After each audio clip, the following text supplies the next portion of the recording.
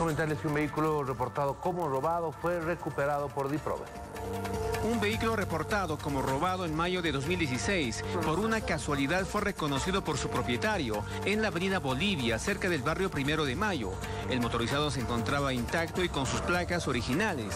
Ahora lo hemos encontrado aquí en Cruce Primero de Mayo y estuvimos dándonos la vuelta justamente con otra movilidad y mi hijo se fija mira la placa, justamente vamos a agarrar y pedí auxilio porque yo ya no podía confiar ya en esa persona que estaba sentada ahí.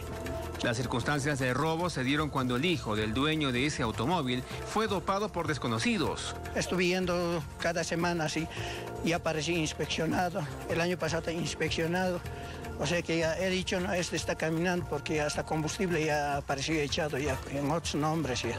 Personal de la Dirección de Prevención contra el Robo de Vehículos tomó conocimiento del caso. Por el momento una mujer está detenida. Ella alega que adquirió el motorizado en Cochabamba con documentos posiblemente duplicados.